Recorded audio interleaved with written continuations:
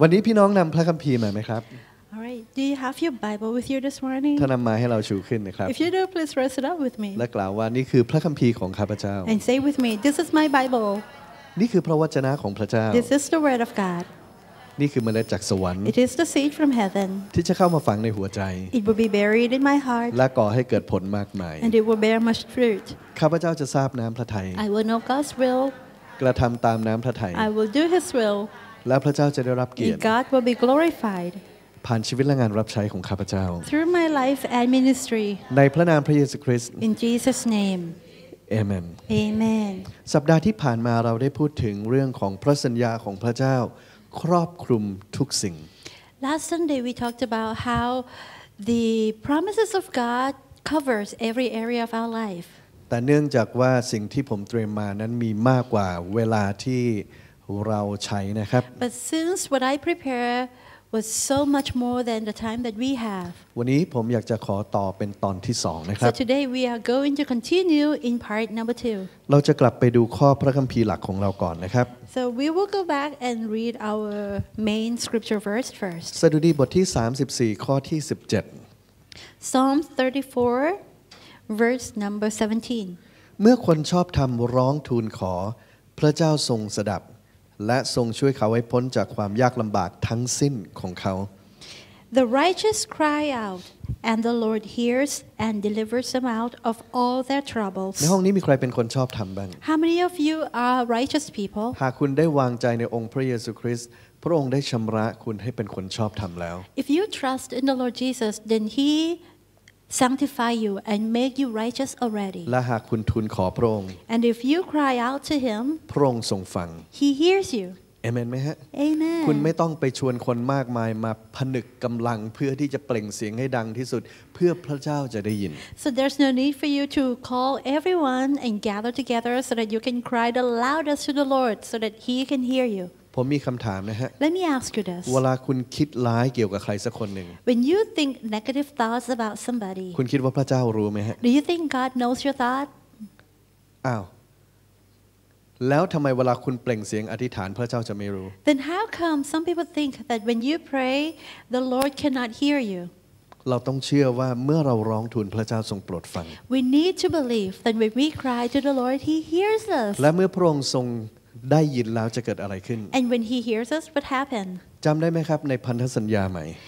Remember in the New Testament, พระคัมภีร์บอกกับเราเอาไว้นะครับว่า เมื่อเราทูลขอสิ่งที่เป็นพระประสงค์ พระองค์ทรงโปรดฟัง the Bible says that if we ask according to His will, He hears us. เกิดอะไรเมื่อพระองค์ทรงโปรดฟังครับ So what happened when He hears us? และเมื่อเรารู้ว่าพระองค์ทรงโปรดฟัง เราก็ได้สิ่งนั้นที่เราทูลขอจากพระองค์ When we know that He hears us, then we receive whatever we ask of Him. เช่นเดียวกันกับในข้อนี้ In the same manner, in เมื่อ the พระเจ้า scripture, ทรงสดับฟังพระองค์ก็ทรงช่วยเขาให้พ้นจากความยากลำบากทั้งสิ้นของเขา when the Lord hears, He delivers them out of all their troubles. ไม่มีแม้สักหนึ่งความยากลำบากที่พระเจ้าจะไม่ช่วย So there's not even one trouble that God will not help. คำถามคือความเจ็บป่วยคือหนึ่งในสิ่งที่ทำให้เราเกิดความยากลำบากไหมครับ So the question is Is sickness and disease a trouble that God needs to help us? บางคนพยายามบอกว่ายุ่งการรักษาได้เสื่อมสูญไปแล้วตั้งแต่อัครทูตคนสุดท้ายตายนั่นคือเมื่อ 2,000 ปีที่แล้ว Some people try to say that the era of healing has been done away with since the last, uh, last apostle died, and that was 2,000 years ago. นั่นเป็นการบอกให้รู้ว่าสดุดีบทที่ 34 ข้อที่ 17 ไม่เป็นจริงในวันนี้ So they're saying that Psalms 34:17 is not true today. หรือจะต้องบอกว่ายกเว้นการรักษา Or they would say except healing. แต่จริงๆแล้วไม่ใช่นะครับ But no, it's not that ไม่ way. มีข้อยกเว้นอยู่ที่นี่ There's no exemption here. ถ้าโรคภัยไข้เจ็บทำให้คุณเกิดความยากลำบาก If sickness and disease trouble you, พระเจ้าต้องการช่วยคุณให้พ้นจากความยากลำบากทั้งสิ้นของคุณ then that is the thing that the Lord will help deliver you out of. ดังนั้นต่อให้อัครทูตตายไป 2,000 ปีแล้ว So even though the last apostle died 2,000 years ago, แต่พระเจ้ายังคงอยู่ but God is still live. และหากคุณจะร้องทูล So if you are going to cry out to พระเจ้า Him, จะสดับฟัง He will hear you และจะทรงอาจจะทรงช่วยคุณให้พ้นจากความยากลำบากทั้งสิ้น And รวม he- ถึงโรคที่คุณเป็นอยู่ And He will deliver you from all your troubles, including the sickness and disease. พระคัมภีร์ไม่ได้บอกว่าเมื่อเราอยู่ในโลกใบนี้ในฐานะคริสเตียนจะไม่มีปัญหาเกิดขึ้น The Bible never promises that as Christian, as we are living on the, in the world today, we will have no trouble. แต่เมื่อปัญหาเกิดขึ้นเรามีทางออก But we know that when we have troubles, we have a way out. เพราะพระเจ้าจะช่วยให้เราออกไปจากปัญหาทั้งสิ้นนั่นเอง Because God will be the one that will deliver us from those troubles. ดูต่อในข้อที่ 19 นะฮะ Let us continue in verse 19. คนชอบทำนั้นถูกข่มใจหลายอย่าง แต่พระเจ้าทรงช่วยกู้เขาออกมาให้พ้นหมด Many are the afflictions of the righteous, but the Lord delivers them out of them all. พระเจ้าช่วยกี่อย่างครับ God delivers them out of how many? พระคัมภีร์ของผมบอกว่าพระเจ้าทรงช่วยกู้เขาออกมาให้พ้นหมด My Bible says that the Lord delivers them out of them all. ดังนั้นไม่ว่าคุณจะเป็นโรคอะไรก็ตาม So no matter what kind of sickness you have, พระเจ้าช่วยรักษาคุณได้ God can heal you. เอเมนไหมฮะ Amen. และพระเจ้าไม่หวงอะไรเลยถ้าเป็นสิ่งที่ดี And God will never withhold anything good และ from เรารู้ you. ว่าการรักษาเป็นสิ่งที่ดี And we know that healing is good. ความเจ็บป่วยเป็นสิ่งที่ร้าย Sickness is bad. ในสดุดีบทที่ 84 ข้อที่ 11 ด้วยความรวดเร็วนะฮะ In Psalms chapter 84, 11. เพราะพระเจ้าทรงเป็นดวงอาทิตย์และเป็นโลก พระองค์ทรงปูนความชอบและเกียรติ พระองค์ไม่ได้ทรงหวงของดีอันใดไว้เลยจากบุคคลผู้เดินอย่างเที่ยงธรรม Psalms 84:11 For the Lord God is a sun and shield the Lord will give grace and glory no good thing will he withhold from those who walk uprightly ไม่เพียงแต่เป็นผู้ชอบธรรมเท่านั้น So not only that uh, he will have to be a righteous person ผู้ชอบธรรมต้องเดินอย่างเที่ยงธรรม that righteous man has to walk uprightly และเมื่อปัญหาเกิดขึ้นในขณะที่คุณเดินอย่างถูกต้อง พระเจ้าสามารถช่วยกู้คุณได้ and as you are walking uprightly and troubles come then God will help deliver you แต่พระสัญญานี้ไม่ได้ครอบคลุมไปถึงผู้ชอบธรรมที่ดำเนินชีวิตอย่างไม่ชอบธรรมนะฮะ And this promise is not going to cover for those righteous men who does not walk uprightly. หากผมนอกใจภรรยา If I cheated on my wife และไปวิ่งตามผู้หญิงสักคนหนึ่ง and I chase after a woman แล้วผมจะมานั่งอธิษฐานพระบิดาเจ้าข้าขอโปรดอย่าให้เขาท้องเลย and I pray that God please help her not to be pregnant, พ ระองค์จะช่วยอย่างนั้นไหมฮะ would He help? พระองค์จะไม่ช่วย No. ถูกไหมฮะต้องเป็นตามพระประสงค์พระองค์จึงจะทรงโปรดฟัง So it has to be according to His will, and that is how He is going to hear you. ผู้ชอบธรรมถูกข่มใจหลายอย่างให้แน่ใจว่าการข่มใจนั้นมาจากการเดินอย่างเที่ยงธรรม Many are the affliction of the righteous, so make sure that the affliction comes because you walk uprightly. มีเรื่องอยู่เรื่องหนึ่งเกิดขึ้นที่สหรัฐอเมริกา There was a story happened in America? ขอบคุณพระเจ้าที่เรื่องแบบนี้ไม่ได้เกิดขึ้นในประเทศไทย and thank God because we don't hear something like this happen in our country. มีอยู่คนหนึ่งให้สัมภาษณ์นักข่าว there was a man that uh, was interviewed by a reporter. ด้วยความไม่เข้าใจอย่างยิ่ง and with ignorance. หลังจากที่เขาถูกตำรวจจับแล้ว after he was uh, arrested เขาให้สัมภาษณ์ว่า he said this. ผมไม่เข้าใจเลยจริง ๆ ผมขออธิษฐานขอพระเจ้าดูต้นทางให้แล้ว ตอนที่จะเข้าไปขโมยของในร้านสะดวกซื้อ แต่ทำไมทำไมพระองค์ไม่ดูต้นทางให้ แต่บอกให้แคชเชียร์มาจับผมได้ I really don't understand why God did not help me because before I robbed this convenience store, I prayed already. But then I don't understand why the cashier uh, arrested me. เป็นพระประสงค์ของพระเจ้าไหมครับให้เขาเข้าไปขโมยของในร้านสะดวกซื้อ But do you think that it is the will of God for him to rob the convenience store? นั่นเป็นการดำเนินชีวิตอย่างเที่ยงธรรมไหมฮะ Is that what we call walking uprightly? ดังนั้นนั่นคือปัญหาที่เขาสร้างขึ้นเพราะบาปของเขาเอง So the trouble he faced caused by his own action. และจะให้พระเจ้าไปรับผิดชอบนั้นไม่ได้ So he cannot ask God to be responsible for his action. ถ้าเขาสารภาพบาปแน่นอนพระเจ้าทรงสัตย์ซื่อและเที่ยงธรรมพระองค์จะทรงโปรดชำระบาปยกบาปทั้งสิ้นให้กับเขาทั้งหมด If he confessed his sin, of course that God is faithful and just and he will forgive him of all the sins. แต่เขาต้องเข้าคุกด้วย But he also has to go to jail. ถ้าเกิดผมนอกใจภรรยาแล้วไปวิ่งไล่หาผู้หญิงคนอื่น ผมก็ต้องเลี้ยงเด็กที่เกิดขึ้นตามมาด้วย So if I cheated on my wife and follow another woman, then I will have to be responsible for a baby that was born out of that woman. เพราะทุกการกระทำของเรามันคือการหว่านเมล็ดลงไป Because every action that we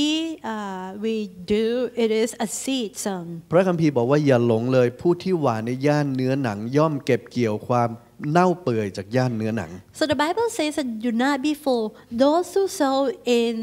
the carnal world, uh, in the physical world, in the- in uh, carnal, in carnally, they will have to reap uh, incarnally. เอเมนไหมฮะ Amen ดังนั้นเลือกให้ดีก่อนที่เราจะทำอะไรลงไป So choose wisely before you do anything. ถามว่าถ้าคนชอบทำแล้วเขาจะทำสิ่งเหล่านี้หรือเปล่า Ask yourself first that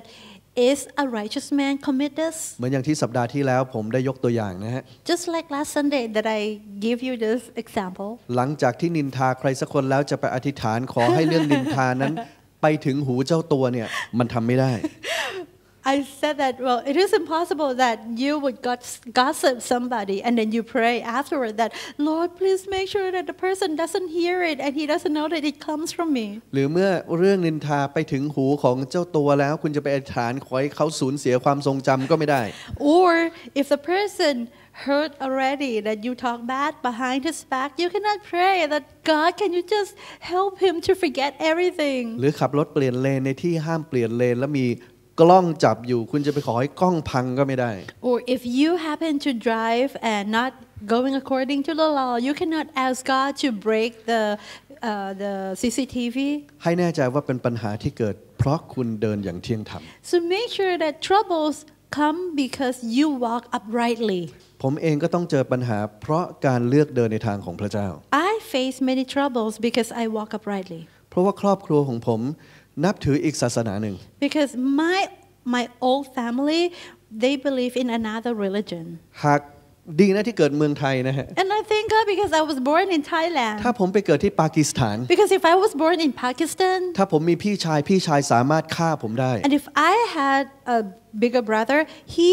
has the right to kill me. แล้วเมื่อตำรวจรู้สาเหตุแล้วเป็นการฆ่าเพราะคนนี้เปลี่ยนมาเป็นคริสเตียนตำรวจจะไม่เอาเรื่อง And if the police found out that the, fa- uh, the, the brother killed me because I changed the religion, then Then- that is the rightful reason for my big brother not to go to jail. ดังนั้นสิ่งที่ผมเผชิญนั้นมันเล็กน้อยมาก So what I am uh, facing is very little ๆ เมื่อเทียบกับสิ่งที่ คนในประเทศอื่นต้องเผชิญ comparing to what people in other countries will have to face. ดังนั้นมันมีการข่มเหงเพราะเราเดินในทางของพระเจ้า So there will be afflictions because we walk godly. แต่พระเจ้าจะช่วยกู้ให้พ้นทั้งหมด And God will help deliver us from all those troubles. ทุกวันนี้ Today, ญาติผมทุกคนที่นับถือศาสนานั้น all of my relatives who believe in another religion, ใช้ Facebook ครับ they used Facebook. เป็นเพื่อนกับผมด้วย And they're my friends และ on เขาก็เห็ Facebook. นหมดว่าผมลงข้อพระคัมภีร์และคำเทศนาอยู่ตลอดเวลา And they see that I post uh, scripture verse and sermons all the time. แล้วพอถึงวันเกิดผม And on my birthday, เขาถึงขั้นอวยพรขอพระเจ้าอวยพร they write on my wall that God bless you. เมื่อมีการรวมญาติกัน And when we come together uh, as a family, เมื่อเราเจอกันเราก็กอดกัน when we meet each other, we hug each other. ฮาเลลูยา Hallelujah. แต่แรกๆมันไม่ได้เป็นแบบนี้ It was not so in the beginning, แต่พระเจ้าทรงช่วยกู้ให้พ้นทั้งหมด but God helped deliver us from all ดังนั้น troubles. อย่าใช้ชีวิตอยู่ด้วยความกลัว So do not live in fear. เอ Sorry. เมนไหมฮะให้เรา Amen. ยืนหยัดในทางของพระองค์ So make sure that we stand firm in His way.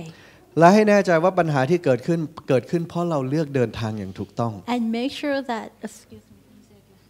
ให้แน่ใจว่าปัญหาที่เกิดขึ้นเกิดขึ้นเพราะเราเลือกเดินทางจากถูกอย่างถูกต้อง And make sure that when you face any troubles, those troubles come because you walk uprightly. แล้วพระเจ้าจะช่วยกู้คุณให้พ้นจากทุกปัญหา And God will help deliver you from all your troubles. เพราะบางคนไม่เข้าใจจุดนี้ And because some people do not understand this, รีบไปกู้เงินมาซื้อของ and they go and uh, make a loan get a loan from the from the bank and they can buy many stuff. ไปกู้นอกระบบด้วย Or sometimes they loan the money from uh, mafia. ตั้งใจเลยเพราะเห็นข้อพระคัมภีร์ตรงนี้ And because they know that God will help deliver them, so they meant to do it. แล้วพอเกิดปัญหาขึ้น And when they face problems, มาอธิษฐานขอให้พระเจ้าช่วยกู้ they pray and ask God that God would deliver them. มันก็คงไม่ต่างอะไรกับการที่ คนที่เข้าไปขโมยของในร้านสะดวกซื้อขอพระเจ้าดูต้นทางให้ So that is no different than those who go rob a convenience store and they ask God to help take care of the situation that the police won't arrest them. เอาละครับในโรมบทที่ 8 ข้อ 32 นะฮะ Romans 8:32. พระองค์ผู้ไม่ได้ทรงหวงพระบุตรองค์เดียวของพระองค์แต่ได้ทรงโปรดประทานพระบุตรนั้นเพื่อประโยชน์แก่เรา ถ้าเช่นนั้นพระองค์จะไม่ทรงโปรดประทานสิ่งสารพัดให้เราทั้งหลายด้วยกันกับพระบุตรนั้นหรือ He who did not spare his own son, but delivered him up for us all, how shall he not with him also freely give us all things? เราจะเห็นทั้งพันธสัญญาเดิมและพันธสัญญาใหม่ หากเป็นของดีพระเจ้าไม่หวง So we can see both in the Old Testament and also in the New Testament that if anything is considered good, God will not withhold that from หาก us. เป็นประโยชน์พระองค์ให้ If it is beneficial, then God will give. เอเมนไหมครับ Amen หากพระองค์ประทานพระบุตรให้สิ่งสารพัดในโลกนี้เทียบค่าไม่ได้เลยกับพระบุตรของพระเจ้า If He gave us His only Son already, then there's nothing in the world that He would withhold from us. อย่าคิดว่าสิ่งของในโลกนี้มันมีราคาค่าตัวมากไปกว่าคุณ So do not ever think that any material things in the world will be more precious than the life of the Son. บางคนไม่กล้าที่จะนั่งเก้าอี้หนังแท้ Some people they are not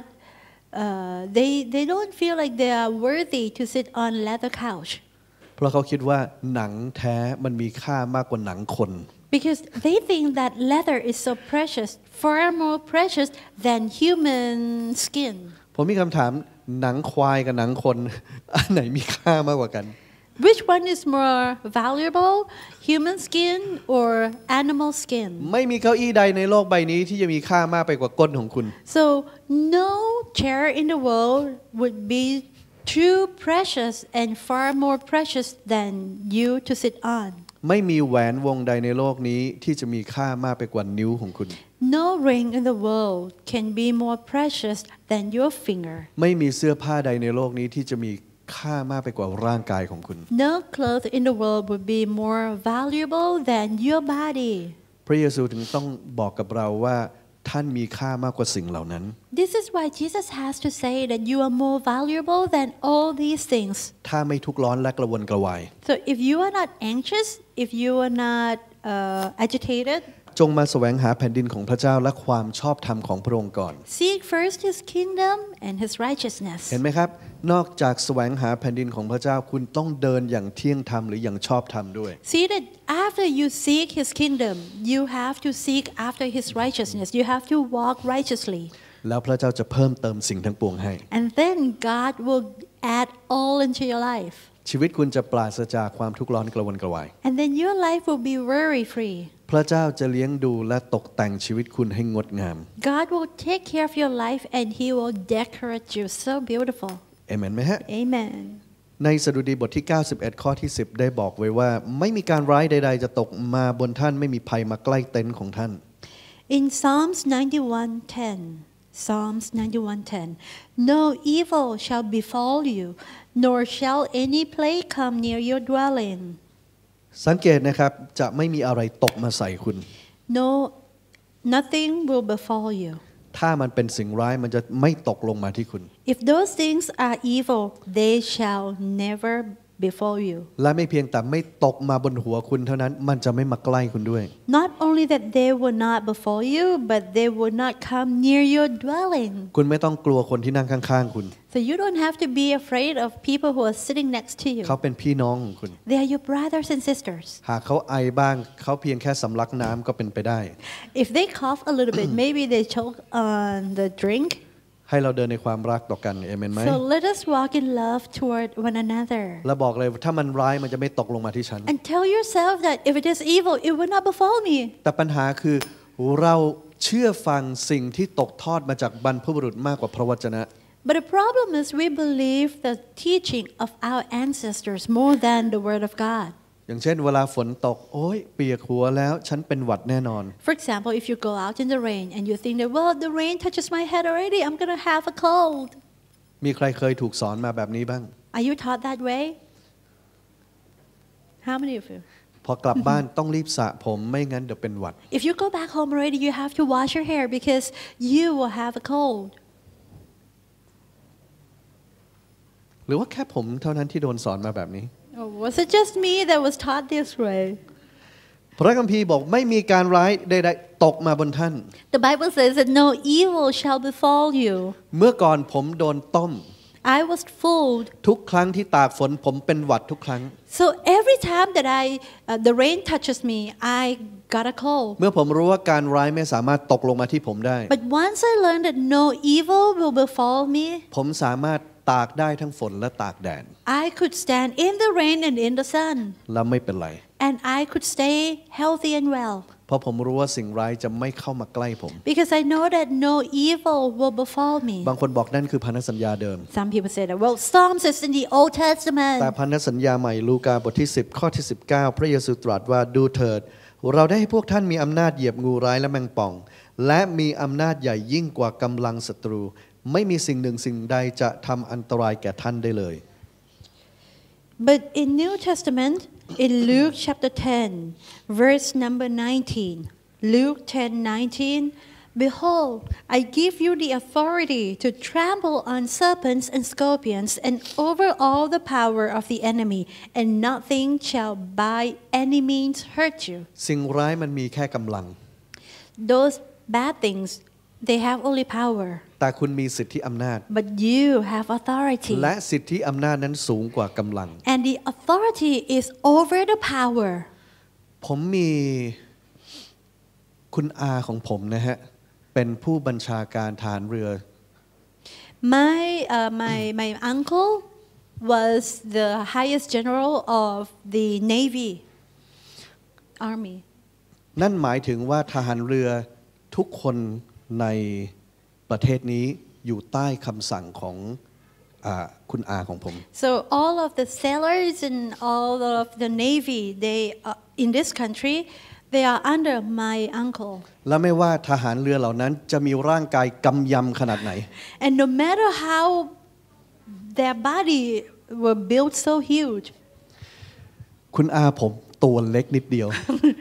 my uncle was so tiny, แล้วก็ตัวผอมด้วย smaller than Rainier actually. จริงๆ ตัว Yeah. ตัวเล็กกว่าเลเนียอีกนะฮะ Yeah, he, he is smaller than Rainier. แต่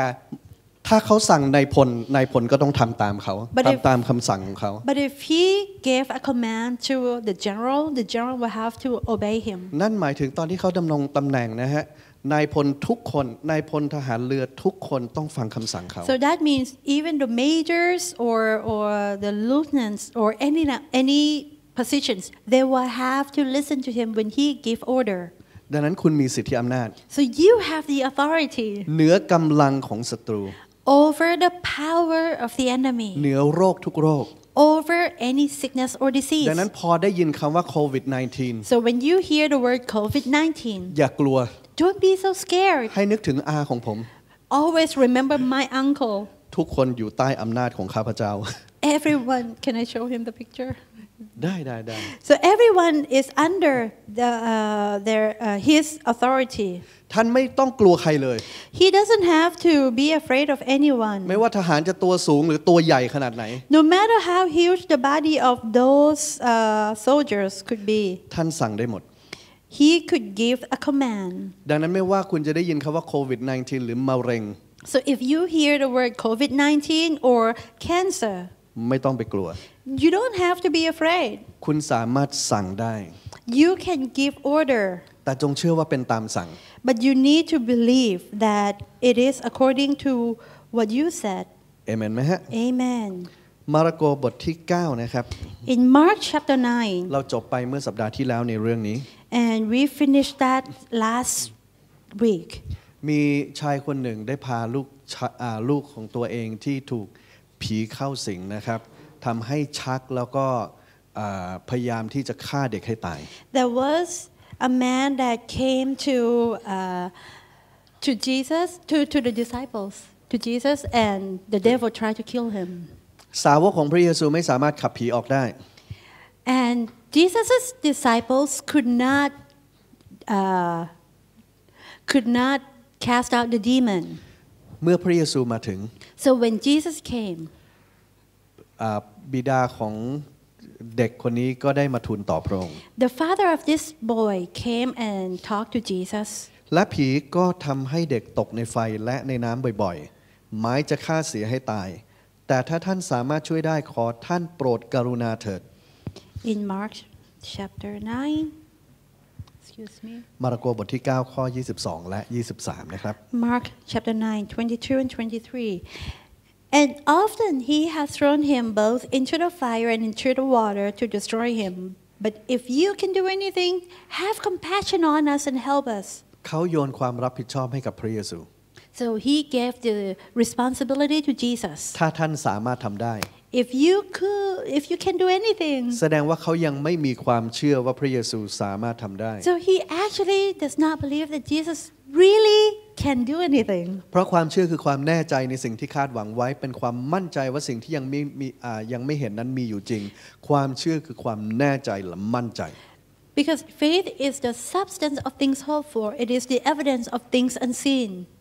ดังนั้นเมื่อเขาบอกว่าถ้าสามารถทำได้แสดงว่าเขายังไม่แน่ใจและไม่มั่นใจ And so uh,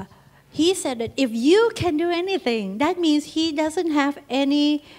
trust that Jesus really can do เขามา anything. ด้วยความสงสัย He came with doubt. ส่วนพระเยซูตรัสตอบเขาว่ายังไงครับ What did Jesus say? ในข้อ 23 พระเยซูจึงตรัสแก่บิดานั้นว่า ถ้าช่วยได้เนี่ยหรือ ใครเชื่อก็ทำให้ได้ทุกสิ่ง Jesus said to him, If you can believe, all things are possible to him who believes. จริงๆ แล้วพระเยซูถามกลับนะครับว่า ถ้าเจ้าต่างหากสามารถเชื่อได้ So Jesus actually asked him, If you can believe, all เขาชี้ things ca- are possible. เขาชี้ไปที่พระองค์ ถ้าพระองค์สามารถ He pointed at Jesus, If you can do, Jesus. พระเยซูชี้กลับ ถ้าเจ้าต่างหากที่สามารถเชื่อ Jesus pointed back, If you can believe. จริงๆ แล้ววันนี้มีคนมากมายสงสัยว่าเอ๊ะพระเจ้าสามารถช่วยฉันได้หรือเปล่า There's so many people today that they they wonder if God really can help them. ขอบคุณพระเจ้าสำหรับบิดาของเด็กคนนี้ที่ไปถามแทนคุณแล้ว Thank God because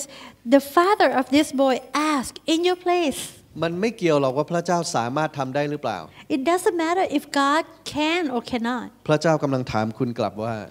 because God is asking you ถ้าเจ้าต่างหากที่เชื่อ if you can believe. ถ้าเจ้าสามารถเชื่อได้ If you can believe, ความเชื่อก็ทำให้เจ้าได้ทุกสิ่ง that faith, that belief can make it happen to you. ความเชื่อของคุณจะทำให้คุณหายโรคได้ Your faith can make you whole. และนี่คือสิ่งที่พระเยซูตรัสหลายครั้ง And this is what Jesus said so many times. พระองค์ไม่ได้ตรัสว่าพระบิดารักษา He did not say that my father healed you,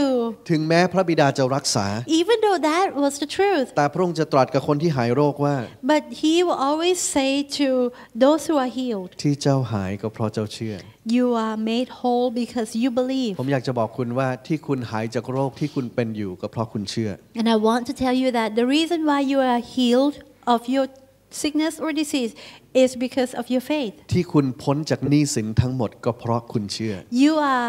debt free, you are delivered from the debt is because you believe. และที่คุณได้รับการเพิ่มพูนขึ้นมาก็เป็นเพราะคุณสามารถเชื่อได้ And you are multiplied into your life because you can believe. ความรับผิดชอบอยู่ที่ตัวเราเอง The responsibility is with you. ให้เราดูในมาระโกนะครับบทที่ 11 ข้อ 24 Mark 11, 14, huh? 24. ทำไมเราพูดถึงมาระโกบทที่ 11 ข้อ 24 ครับ Why are we talking about Mark 11, 24? เพราะเป็นเรื่องของการทูลขอสิ่งที่เราต้องการนั่นเอง Because it is talking about how we pray and ask God for something. เมื่อสักครู่นี้เราได้เรียนไปแล้วพระเยซูตรัสว่า ถ้าเจ้าสามารถเชื่อได้ Just now we learned that Jesus said, if you can believe, ความเชื่อก็จะทำให้เจ้าได้ทุกสิ่ง faith can make it happen to you. Anything can, i- i- anything is possible. ไม่มีขอบเขตจำกัดใดๆทั้งสิ้นนะฮะ And there's no limitation. นั่นนั่นคือพบทรนะฮะเขาสามารถสั่งคนที่สูงกว่าเขาก็ได้ So he can give commands to any huge guy. ในพลฐานเรือทุกคนอยู่ใต้เขา All the majors and all those colonels or anyone will have to be under his authority. ทหารกล้ามใหญ่ทุกคนอยู่ใต้เขา All the big muscle soldiers will have to be under, under him. เขาไม่กลัวใครเลย And he has no fear for anyone. เราควรจะเป็นแบบนั้น So we have to be just like เพราะว่า that. สิทธิอำนาจที่เราได้นั้นเหนือกว่ากำลังทั้งสิ้นของศัตรู Because the authority that we have received from the Lord is stronger than any power. เอเมนไหมฮะ Amen. เปรียบได้กับคุณได้สิทธิอำนาจของนายพลมาแล้ว So it's just like when you have received the authority of the general, the major, the general. ไม่ต้องใช้ความอ่าไม่ต้องใช้ชีวิตอยู่ด้วยความกลัวอีกต่อไป So there's no need for you to live in fear any longer. ไม่ต้องกลัวว่าจะเอาอะไรกินอะไรดื่มอะไรสวมใส่ No need to be afraid what you will have to eat, to wear, or to drink. ครอบครัวเราเคยผ่านจุดนั้นมาแล้ว We, our family passed that point already. ถึงแม้ว่าเราไม่มีอะไรเลย Even though we had nothing, แต่เรามีพระเจ้าเรามีทุกสิ่ง but we have God, and so that means we have everything. และเรารู้ว่าพระองค์เตรียมอนาคตที่เต็มไปด้วยสวัสดิภาพให้กับเรา And we know that God has prepared for us a future that is uh, bright. และเรารู้ตอนจบเป็นอย่างไร And we know the end already. มันเลยทำให้เราสามารถเดินต่อไปได้ So that's why we can continue walking. เดินในความเชื่อ We can walk in faith, มิใช่ตามที่ตาเห็น not according to our sight. เพราะตามที่ตาเห็นในเวลานั้นมันมีแต่ปัญหา Because if we go according to our sight, we could only see troubles everywhere. ปัญหามันมีกำลังที่ยิ่งใหญ่ Troubles have a lot of power. แต่เมื่อเรารู้ว่าพระองค์ได้ให้สิทธิอำนาจเหนือกว่าทุกกำลังของปัญหา But once we know that He has given us the authority, which is far greater than any power, และถ้าเราสามารถเชื่อได้ and if we can believe, ความเชื่อก็ทำให้เราได้ทุกสิ่ง faith will make it possible for us in any คุณอาจจะ situation. มีหนี้สินที่เกินกว่าเงินเดือนของคุณจะจ่ายได้ Maybe you have a huge pile of debt that your salary cannot cover, แต่คุณมีสิทธิอำนาจเหนือกำลังของหนี้สิน but you have authority over the power of your debt. ให้เราเดินด้วยความเชื่อ So let us walk in faith. พระองค์สามารถช่วยคุณได้ He can help you. ถ้าคุณสามารถเชื่อได้ว่าคุณจะหมดหนี้ If you can believe that you will be debt free, ความเชื่อนั้นจะทำให้คุณได้ทุกสิ่ง faith will make it possible for you. ก็คือหมดหนี้ That is, you will be debt free. สังเกตข้อพระคัมภีร์เหล่านี้ไหมฮะ Notice these scripture verse. ทุกสิ่ง All things, ทุกอย่าง everything, ไม่ว่าสิ่งใดก็ตาม n- no matter what it is, พระสัญญาครอบคลุมทุกสิ่ง the promise of God covers every area. เหตุฉะนั้นเราบอกท่านทั้งหลายว่าขณะเมื่อท่านอธิษฐานพระเจ้าขอสิ่งใด ภาษาไทยไม่ได้มีคำนี้นะครับ ที่ท่านปรารถนา จงเชื่อว่าได้รับ แล้วท่านจะได้รับ Therefore, I say to you, whatever things you ask when you pray, believe that you receive them and you will have them. ในฉบับภาษากรีกมีคำว่าที่ท่านปรารถนา In Greek language, it says that whatever things you ask because you desire it, พระเจ้าต้องการให้ตามที่คุณปรารถนา so God wants to give you according to your desire. หากเป็นความปรารถนาตามพระวจนะนั่นคือความปรารถนาที่ดี If that desire is aligned with the Word of God, สั then งเกต that นะ is a good, uh, good desire. สังเกตนะครับขอสิ่งใดได้สิ่งนั้น So here it says that whatever things you ask, you will receive it. บอกคนข้างๆนะครับขอสิ่งใดได้สิ่งนั้น So tell the person next to you, whatever thing you ask, you will receive them. พระเยซูบอกว่าถ้าบุตรขอขนมปังก็ไม่ได้ก้อนหิน ขอปลาก็ไม่ได้งูถูกไหมฮะ Jesus said that if a son would ask, if a child would ask for bread, you wouldn't give him a rock. Or if he asked for a fish, you wouldn't give him a snake. นั่นหมายถึงขอขนมปังก็ได้ขนมปัง ขอปลาก็ได้ปลา That means if you ask for bread, you will get a bread. If you ask for fish, you will get a fish. แล้วพระองค์ลงท้ายว่า พระบิดาในสวรรค์รู้จักที่จะให้ของดีแก่บุตรของพระองค์ And he said that your Father in heaven knows how to give good things to his children. ดูยอห์นบทที่ 15 ข้อที่ 7 นะฮะ John 15 พระเยซูตรัสถึงเงื่อนไขในการขอสิ่งใดได้สิ่งนั้น 7. Jesus tells us the condition that comes with asking and receiving. ถ้าท่านทั้งหลายเข้าสนิทอยู่ในเราและถ้อยคำของเราฝังอยู่ในท่านแล้ว ท่านจะขอสิ่งใดซึ่งท่านปรารถนาก็จะได้สิ่งนั้น John 15:7 If you abide in me and my words abide in you, you will ask what you desire and it shall be done for you. ขั้นที่หนึ่งคุณต้องเข้าสนิทอยู่ในพระองค์ So number 1, you have to abide in him. ในฝ่ายวิญญาณเมื่อเราได้รับเชื่อในองค์พระเยซูคริสต์เราได้เข้าสนิทอยู่ในพระองค์ Spiritually, when we receive salvation, our spirit abides in him. แต่เราไม่ได้เป็นวิญญาณล่อนเล่ไปที่ไหน We are not just spirit floating around. เรามีจิตใจเราอาศัยอยู่ในร่างกาย We have a mind and we live in a body. ให้แน่ใจว่าความคิดของเราก็สนิทกับพระองค์ การดำเนินชีวิตของเราก็สนิทกับพระองค์ด้ว So ย you have to make sure that your thoughts are abiding in his his words. เอเมนไหมครับ Amen. และถ้อยคำของพระองค์ฝังอยู่ในเรา And his words abide in us. เพราะอะไรถ้อยคำพระองค์ต้องฝังในเราครับ Why do his words have to abide in us? เพื่อเราจะได้ทูลขอด้วยความเชื่อไง So that we can ask in faith. เพราะโรมบทที่ 10 ข้อ 17 บอกว่าความเชื่อเกิดขึ้นได้ด้วยการได้ยินและได้ยินพระวจนะของพระเจ้า Because Romans 10:17 says that faith comes by hearing and hearing by the word of God. และเมื่อคุณได้พระวจนะเข้ามาฝังอยู่ข้างใน So when you receive the word of God and you put it in your heart, ความเชื่อก็เกิดขึ้น then faith arises. ท่านจะขอสิ่งใดนั่นหมายถึงท่านจะขอสิ่งใดด้วยความเชื่อ ซึ่งท่านปรารถนาก็จะได้สิ่งนั้น You will ask what you desire. It means that if you ask what you desire in faith,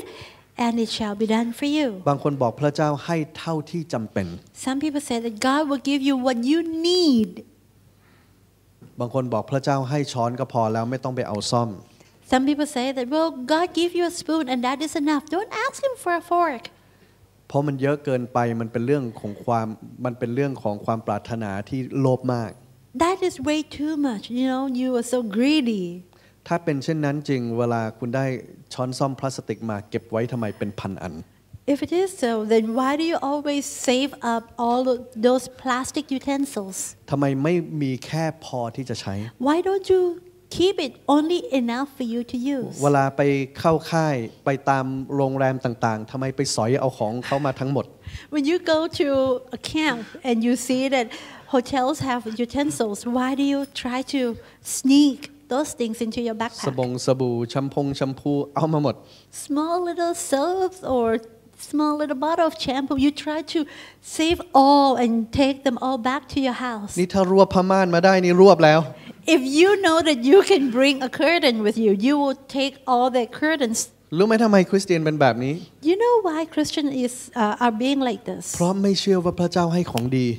Because they cannot believe that God can give them good things. เพราะไม่เชื่อว่าพระเจ้าจะให้ชีวิตที่ดี So when they have this belief, there's this mentality that God cannot give them any good thing, ก็เลยเกิดความโลภ then they are starting to become greedy. อะไรตักตวงได้ตักตวงไว้ก่อน Anything that they can take, they will. แต่ผมเชื่อว่าพระเจ้าให้ของดี But I believe that God can give me good things. ดังนั้นเวลาผมไปพักตามโรงแรม So when I go to hotels, ผมเชื่อว่าพระเจ้าให้ผมได้ในสิ่งที่ดีกว่าที่โรงแรมจัดหาให้ได้ I believe that God can give me better things than the hotel provided. ผมบอกภรรยานะครับว่ามื้อเช้าผมไม่กิน So I would tell my, my wife that I would not eat breakfast เพราะว่าผมจะกินมื้อแรกตอนเที่ยงเสมอ because I usually eat my first meal around lunchtime. แต่ถ้าเกิดผมเป็นประเภทที่ พระเจ้าไม่ต้องการให้เราได้ของดี But if I happen to have this mentality that God doesn't want us to have any good thing, แต่โอกาสที่จะได้กินอาหารเช้าของโรงแรมมาถึงแล้ว and here comes the opportunity that I can eat food from hotels, มันจะเกิดอะไรขึ้น what would happen? ผมจะไปเอาหมดทุกอย่างที่มันมี I will eat every little thing that they have. แล้วก็กินมันทุกอย่างที่ ที่ไม่ควรกิน And I will eat even the things that I should not be eating. มีใครเคยทำแบบนั้นบ้าง How many of you used to do that? Hmm? No, no one. You're so lovely. ถ้าเราเปลี่ยนความคิดของเราใหม่ นิสัยเราจะเปลี่ยน If we change our mentality, then our behavior will be changed. คุณเคยเห็นสมัยก่อนไหมครับ เวลาที่ร้านพิซซ่าเขาให้ตักผักสลัดกันได้ 39 baht. เออ39บาท Do you remember when Pizza Hut, Pizza Company used to have this special treat that you pay 39 baht and you can have all the salad you can in one bowl? เกิดอะไรขึ้นกับแต่ละคนฮะ What happened to everyone, to, to people? เขาไปหาทางทำให้ผักสลัดนั้นสูงขึ้นไปแบบเป็นเมตรได้ They find they will find a way that they can stack up all of those vegetables, all the salads that is like a meter tall. ใส่ผักจากนั้นเอาน้ำสลัดโปะโปะโปะโปะเพื่อกลายเป็นกาว แล้วก็ ใส่สลัดเข้าไปอีก โปะโปะโปะน้ำสลัดใส่นู่นใส่นี่เข้าไป They will have very creative ideas that okay i will have to put this type of vegetables because they're leaf and then they will put things and then they will add some salad dressing because it's so sticky just like glue and then they can add more and then they can put more sticky juicy salad dressing and they try to stack up ถ้าเราเพียงแต่รู้ว่าพระเจ้าเตรียมผักให้กับเราอีกไม่รู้กี่สวนในชีวิตนี้ if only we know that god has prepared for us so much vegetable that we can never eat in this life จะมีของดีอีกมหาศาลที่พระเจ้าเตรียมไว้ให้กับเรา There will be many more good things in this life that God has provided for you. มันจะทำให้เรากินผักสลัดนั้นนะเท่าที่เรา มันจะเป็นประโยชน์ต่อร่างกายของเรา Then we will eat salad as much as it can still be good for our body. และความรักไม่ทำอันตรายเพื่อนบ้าน And love, har- do, love does not harm the neighbor. นั่นหมายถึงความรักไม่ทำอันตรายเจ้าของร้าน That means love will help you not to harm the restaurant owner. ให้เขาได้กำไรบ้าง You will do s- some courtesy that they will earn some profit. เอเมนไหมฮะ Amen. ทำไมสิ่งเหล่านี้ถึงได้เกิดขึ้น But why these things happen? เพราะเราอยู่ด้วยความกลัว Because we live in fear. เพราะเราไม่รู้ว่าพระเจ้าให้ของดี Because we don't know that God can give us good ดังนั้น things. ถ้าเรามีโอกาสตักตวงอะไรได้เราก็จะตักตวงอย่างน่าเกลียด So when we see the opportunity to take, we will take it no matter how ugly it makes us look. แต่ถ้าเรารู้ว่าพระเจ้าเตรียมสิ่งที่ดีให้ But if we know that God prepared for us all the good things, เราก็จะไม่เป็นคนโลภ then we wouldn't be so greedy. และเราก็ไม่จะไม่ทำอันตรายต่อร่างกายของเราเองโดยการกินมากเกินไป And we wouldn't harm our own body by eating way too much. เอเมนไหมครับ Amen. ดังนั้นถ้าคุณปรารถนาแล้วมันเป็นความปรารถนาที่เกิดขึ้นจากพระวจนะที่ฝังอยู่ภายในพระเจ้าต้องการให้สิ่งนั้นกับคุณ So if you ask God for the things that you desire, and that desire comes by the things that you have learned from the Word of God, then you know that God will give you. พระคัมภีร์บอกว่า พระวจนะฝังในท่านก่อนที่จะพูดถึงทูลขอสิ่งที่ปรารถนา The Bible says that the Word of God abides in you, and that comes before you ask whatever you desire. ดังนั้นก่อนจะขอสิ่งที่ปรารถนา เอาพระวจนะมาฝังข้างในก่อน So before you ask God what you desire, make sure you put the Word of God in you. เพราะพระวจนะที่ฝังนั้นจะเปลี่ยนความปรารถนาของคุณ Because the Word of God that is in you will change your desire. จากการที่อธิษฐานพระเจ้าขอดูต้นทาง อย่าให้ภรรยาจับได้ คืนนี้ลูกจะออกนอกเส้นทาง Instead of praying to God that, Lord, can you please make sure that my wife sleeps so deep tonight that she wouldn't know that I sneak out to another woman? อันนั้นคือความปรารถนาที่ไม่ได้เกิดจากการที่ถ้อยคำฝังอยู่ในคุณ That is the desire that arise in you, and it's not because you have the Word of God in you. แต่หากถ้อยคำฝังอยู่ในคุณ คุณจะไม่มีความปรารถนาแบบนั้นอยู่กับคุณ But if you have the Word of God in you, then that kind of desire will not be in you. แต่หากคุณจะอธิษฐานขอพระเจ้า สอนคุณให้เป็นคู่สมรสที่ดีขึ้น Rather, you would pray to God to teach you to be a better spouse, คุณจะได้สิ่งนั้น and you will get what you pray for. เอเมนไหมครับ Amen. ดังนั้นสิ่งนั้นที่ว่านี้ครอบคลุมหมดทุกอย่างที่พระเจ้าสัญญาไว้ So the things that you desire, it covers every single area that God teaches you. เอเมนไหมครับ Amen. เอาละครับต่อไปนะฮะไปดูใน เอเฟซัสบทที่หนึ่งด้วยกัน Let us turn to Ephesians chapter 1. ข้อที่สามนะฮะอ่าบทที่หนึ่งข้อที่สาม Ephesians 1 3. สาธุการแด่พระเจ้าพระบิดาแห่งอ่าแห่งพระเยซูคริสต์เจ้าของเรา ผู้ทรงโปรดประทานพระพรฝ่ายวิญญาณแก่เรานานาประการในสวรรคสถานโดยพระคริสต์ Blessed be the God and Father of our Lord Jesus Christ, who has blessed us with every spiritual blessing in the heavenly places in Christ.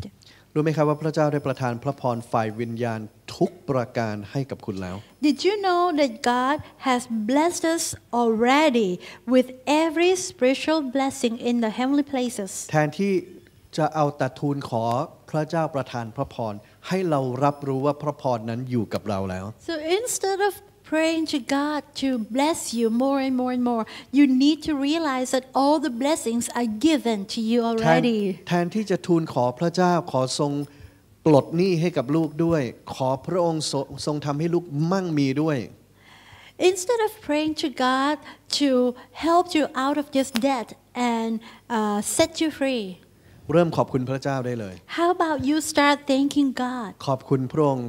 แม้พระคริสต์เป็นผู้ที่มั่งมีแต่พระองค์ทรงยอมเป็นผู้ยากจน เพราะเห็นกับลูก เพื่อที่ลูกจะเป็นผู้ที่มั่งมีผ่านความยากจนของพระองค์ Praise God. Thank you, Lord. Because even though Jesus Christ was rich, he was made poor so that I, through him, can become a rich person. ลูกเชื่อถ้อยคำของพระองค์ขณะนี้ลูกเป็นคนที่มั่งมีแล้ว So I believe in your word, and right now I declare that I am rich. หลักฐานอยู่ที่ไหนครับ Where's the evidence? หลักฐานไม่ได้อยู่ในบัญชีธนาคารของคุณ The evidence is not in the number you have in your bank account. ไม่ได้อยู่ในกระเป๋าสตางค์ของคุณ It's not in your wallet, แต่อยู่ในพระคัมภีร์ but in the word of God. คุณคือคนที่มั่งมีแล้ว You are a rich man. อย่าถามกระเป๋าสตางค์ของคุณว่าคุณมั่งมีหรือยัง Don't ask your wallet if you are rich already or not. จงกล่าวตามพระคัมภีร์ว่าคุณมั่งมีแล้ว But say according to the word of God that you are rich already. อย่าทูลขอพระเจ้าขอทรงโปรดรักษาลูกให้พ้นจากโรคต่างๆด้วย Don't ask God that, Lord, can you please heal me from my sickness? พระเจ้าได้ประทานพระพรนานาประการฝ่ายวิญญาณให้กับคุณแล้ว God has blessed you already with every single spiritual blessing in the heavenly places. เริ่มประกาศได้เลย So declare it now. ด้วยบาดแผลของพระเยซูข้าพเจ้าได้รับการรักษาแล้ว By the stripes of Jesus, I was made well. ข้าพเจ้าหายแล้ว I am healed เพราะพระองค์ได้แบกความเจ็บไข้และหอบความเจ็บปวดทั้งสิ้นไปหมดแล้ว because He bore my sickness and disease and my pain. ไม่ว่าโรคอะไรก็ตาม No matter what kind of sickness that is, ออกไปหมดแล้ว they're all gone. นี่คือวิหารของพระเจ้า This is the temple of the Holy Spirit. โรคร้ายไม่สามารถอยู่ได้ Any sickness or disease can no longer stay in this body. เอเมนไหมครับ Amen. เริ่มประกาศถึงสิ่งที่คุณเป็นแล้วในองค์พระเยซูคริสต์ You have to start declaring whatever you are already in Christ. เริ่มกล่าวเอเมนออกมาได้เลย You can start saying amen. เมื่อคุณอ่านเจอหนึ่งเปโตรบทที่2ข้อ When you read in 1 Peter 2:24, ด้วยบาดแผลของพระองค์ท่านทั้งหลายจึงได้รับการรักษา by his stripes you are healed. กล่าวเลยเอเมน You ด้วย can บาดแผล say- ของพระเยซูข้าพเจ้าได้รับการรักษาหายแล้ว You can say right now that amen. By the stripes of Jesus I was healed. เมื่อคุณอ่านเจอกาลาเทียบทที่ 3 ข้อที่ 13 และ And when you read in Galatians 3:13, 14, 14 กล่าวเอเมนเลย you can say amen. แล้วบอกพระคริสต์ได้ไถ่ข้าพเจ้าให้พ้นจากความแช่งสาปแห่งธรรมบัญญัติ คือพ้นจากโรคทุกโรคแล้ว You can say that Christ has redeemed me from the curse of the law, and that is from all kinds of sickness or disease. พื่อพระพรของอับราฮัมจะได้มาถึงข้าพเจ้าด้วยความเชื่อ so that the blessings of Abraham can come to me by faith. พระพรทางอับราฮัมได้มาถึงข้าพเจ้าแล้ว The blessings of Abraham is in my life right และ now. ข้าพเจ้าไม่สามารถหนีพระพรนี้ไปได้ And I can never outrun this blessing เพราะถ้าข้าพเจ้าอยู่ในเมืองข้าพเจ้าก็ได้ได้รับพร because I am blessed in the city. ออกไปในชนบทก็ได้รับพระพร I am blessed in the country. อยู่ในบ้านก็ได้รับพระพร I'm blessed when I'm in my home. ออกไปนอกบ้านก็ได้รับพระพร I'm blessed when I go out. เอเมนไหมฮะ Amen. ทุกพระสัญญาคุณกล่าวเอเมนได้ Every promise of God, you can say amen to that. 2โครินธ์บทที่1ข้อ2 Corinthians 1:20. 20 บรรดาพระสัญญาของพระเจ้าก็จริงโดยพระเยซู เพราะเหตุนี้เราจึงพูดว่าอาเมน โดยพระองค์เป็นที่ถวายเกียรติแด่พระเจ้า For all the promises of God in him are yes, and in him amen to the glory of God through us. รู้ไหมครับว่าเวลาคุณกล่าวว่าด้วยบาดแผลของพระเยซูข้าพเจ้าได้รับการรักษาแล้ว So when you say that by the stripes of Jesus I was healed, คุณกำลังกล่าวอาเมนอยู่ You are saying amen เพ to ราะ that. เพราะว่าเอเมนก็คือเชื่อว่าเป็นตามนั้น Because the word amen means let it be so. เอเมนไหมครับ Amen. และพระคัมภีร์บอกว่าเป็นที่ถวายเกียรติแด่พระเจ้า And the Bible says here that through the glory of God through us, คุณอยากถวายเกียรติแด่พระเจ้าไหมครับ do you want to glorify God? ไม่ต้องรอวันอาทิตย์เพื่อที่จะมาร้องเพลงนมัสการถวายเกียรติแด่พระเจ้า Don't wait until Sunday that you can sing praise and worship to the ใน Lord. แต่ละวันนะครับ Each and every day, เริ่มประกาศเลยพระสัญญาทุกข้อเป็นจริง start declaring that all the promises of God is true. ข้าพเจ้ามั่งมีแล้ว I am rich. นี่แหละครับคือการถวายเกียรติ This is how you glorify Him. เพราะคุณขอบคุณพระเจ้าสำหรับงานของพระเยซูบนไม้กางเขน Because you are thanking God for the work of Jesus on the cross. และคุณเชื่อว่าคุณได้รับ And you believe that you have received it. แล้วคุณจะได้รับ And you will see it. เมื่อคุณประกาศว่าคุณพ้นหนี้แล้ว When you declare that you are debt free, คุณถวายเกียรติแด่พระเจ้า you are glorifying Him. เมื่อคุณประกาศว่าคุณมีสันติสุขแล้ว When you declare that you have peace in life already, คุณกำลังถวายเกียรติแด่พระเจ้า you are glorifying Him. เมื่อคุณกล่าวว่าคุณหายจากทุกโรคแล้ว When you declare that you are healed from all kinds of sickness and disease คุณ already, กำลังถวายเกียรติแด่พระเจ้า you are glorifying Him. เมื่อคุณกล่าวว่าวันพรุ่งนี้ข้าพเจ้าจะเห็นสวัสดิภาพของพระเจ้า When you say that tomorrow I will see the uh, the welfare that God has prepared for me, คุณกำลังถวายเกียรติแด่พระเจ้า you are glorifying Him. เอเมนไหมครับ Amen. ให้เราลุกขึ้นเดี๋ยวเราจะถวายเกียรติแด่พระเจ้าด้วยกัน Let us stand up to our feet and we are going to glorify Him together. หากวันนี้คุณจำอะไรไม่ได้ So if you cannot remember anything today, ขอให้จำท่อนนี้เอาไว้ just remember this. ทุกครั้งที่คุณประกาศพระสัญญาเป็นจริงแล้วในขณะนี้ Every time that you declare the promise of God, it is made real already. คุณกำลังถวายเกียรติแด่พระเจ้า And that is how you glorify Him. แต่ครั้งใดก็ตามที่คุณเอาแต่คร่ำครวญ But anytime that you are mourning and whining, เมื่อไหรเมื่อไหร when, ทำไมทำไม why, why? โอ้พระเจ้าได้โปรดเธอ Oh Lord, เมื่อ please. ไหรเมื่อไหร When? จะช่วย When are you going to help? นั่นไม่ใช่การถวายเกียรติแด่พระเจ้า That is not how you glorify Him. เอเมนไหมฮะ Amen. เมื่อพระเยซูเจอคนป่วย So when Jesus meet the sick, พระเยซูตรัสว่าไงครับ what did He say? พระองค์บอกว่าเจ้าพ้นจากโรคของเจ้าแล้วในขณะนี้ He said that you are free from your troubles. ความเชื่อคือขณะนี้ Faith is now. ในขณะที่เขายังป่วยอยู่แต่พระองค์บอกว่าเจ้าพ้นจากโรคทั้งสิ้นของเจ้าแล้ว As he is still sick, Jesus said, You are healed. และเมื่อเขาเชื่อ And when he believed, เขาจึงหายได้ that's why he is healed. คุณพ้นจากหนี้แล้วนะครับ You are free from your debt already. คุณพ้นจากความยากจนแล้วนะฮะ You are free from poverty. คุณพ้นจากโชคร้ายแล้วนะครับ You are free from bad luck. วันนี้คุณเป็นคนที่มั่งมีแล้ว Today you are rich. คุณได้รับพระพรนานาประการในสวรรค์แล้ว And you are blessed with all kinds of blessings. ผมได้ยินใครกำลังถวายเกียรติ I'm hearing แด่พระเจ้าอยู่ somebody เนี่ย glorifying God right now. คุณเป็นที่รัก You are loved. คุณได้รับความโปรดปราน You received all the favor. คุณมีสันติสุขซึ่งเกินความเข้าใจ And you have the peace that is beyond คุณมี understanding. การเจิมที่มาจากพระเจ้า You receive the anointing from คุณ God. มีฤทธิ์เดชที่มาจากพระเจ้า You receive power from คุณ God. มีสิทธิอำนาจที่มาจากพระองค์ You receive the authority from คุณ God. มีสิทธิอำนาจเหนือกำลังของศัตรู You have the authority over the enemy's power. คุณเป็นวิหารของพระเจ้า You are the temple of God. คุณบ้างข้างแล้ว You are made rich. คุณแข็งแรงแล้ว You are strong. คุณคือพระพร You are a blessing. คุณคือความสว่างของโลก You are the light of the world. ฮาเลลูยา Hallelujah. ให้เราชมผ่านทางวิดีโอนะครับ วันนี้คุณได้ฟังข่าวประเสริฐแล้ว และถ้าคุณพร้อมแล้วที่จะเชื่อในองค์พระเยซูคริสต์นะครับ ผมขอเชิญคุณอธิษฐานตามนี้นะครับ พระบิดาเจ้า ลูกขอติดตามพระองค์ ลูกขอตัดออกจากชีวิตเก่า โดยการเชื่อและวางใจ ในเครื่องบูชาเดียวนี้ นั่นคือชีวิตขององค์พระเยซูคริสต์ที่ได้ตายเพื่อลูก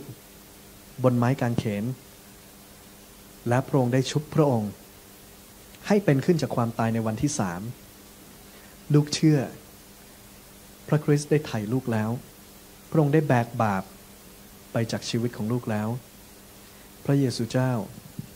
นับตั้งแต่นี้เป็นต้นไป ลูกจะติดตามพระองค์ ลูกจะขอเป็นทาสของพระองค์ ให้พระองค์เป็นเจ้านายของลูก นับตั้งแต่วันนี้เป็นต้นไป ขอบคุณพระบิดาเจ้า ที่ประทานความรอดให้กับลูก ลูกรับไว้แล้วเดี๋ยวนี้ และลูกจะดำเนินกับพระองค์ตลอดไป ในพระนามพระเยซูคริสต์เอเมนท่านี้เป็นคำอธิษฐานที่มาจากหัวใจของคุณนะครับ วันนี้ คุณได้รับการชำระให้บริสุทธิ์แล้ว แล้ววันนี้คุณได้เป็นลูกของพระเจ้าแล้วนะครับ ผมอยากจะขอให้คุณได้ไปหาคริสตจักรที่สอนพระวจนะของพระเจ้าที่อยู่ใกล้บ้านคุณก็ได้นะครับ แล้วก็ไปที่นั่นแล้วก็สัตย์ซื่ออยู่ที่นั่นเป็นประจำสำหรับท่านใดก็ตามที่ต้องการรับการรักษาข่าวดีคือพระเยซูรักษาคุณแล้วเหลือแต่เพียงคุณต้องเชื่อเท่านั้นเอง ว่าพระองค์ได้รักษาคุณแล้ว โดยบนไม้กางเขนพระองค์ได้แบกความเจ็บไข้และหอบเอาโรคนี้ไปงั้นขอให้คุณเชื่อว่า ในวันนี้คุณไม่จำเป็นต้องป่วยอีกต่อไปเดี๋ยวผมจะอธิษฐานให้กับคุณ ขอให้คุณวางมือในส่วนที่คุณเจ็บป่วย และให้เชื่อว่าเมื่อเราอธิษฐานแล้ว แล้วคุณเชื่อว่าเป็นไปตามนั้นฤทธิเดชของพระเจ้าจะทำงานในร่างกายของคุณ แล้วหลังจากนั้นขอให้คุณแสดงความเชื่อออกมานะครับราวกับว่าคุณหายแล้ว ให้ขยับทำในสิ่งที่คุณทำไม่ได้ ในพระนามพระเยซูคริสต์เราสั่งให้โรคทั้งสิ้นที่อยู่ในกายของคนเหล่านี้ จงออกไปจากร่างกายของเขาในเวลานี้ เราสั่งให้โรคทั้งหมดจงออกไป แล้วไม่ต้องกลับมาอีก ในพระนามพระเยซูคริสต์เอเมนเอาละครับผมอยากจะขอให้คุณนะฮะ กล่าวดังนี้นะครับ ขอบคุณพระเจ้า ลูกได้รับการรักษาแล้ว ด้วยบาดแผลของพระคริสต์ลูกหายแล้ว ลูกไม่ได้กำลังจะหาย แต่ลูกหายแล้ว ลูกได้รับแล้ว ขอบคุณพระองค์ ในพระนามพระเยซูคริสต์อยากให้คุณลุกขึ้นและทำสิ่งที่คุณทำไม่ได้นะครับเอาละครับ ผมอยากจะให้คุณได้เขียนมาเล่าให้เราฟังนะครับ ถึงประสบการณ์ชีวิตของคุณนะครับ ไม่ว่าคุณจะได้รับการรักษาหรือว่ารับความรอด เขียนมาตามที่อยู่ที่อยู่ด้านล่างนี้ ขอพระเจ้าอวยพรครับ สวัสดีครับ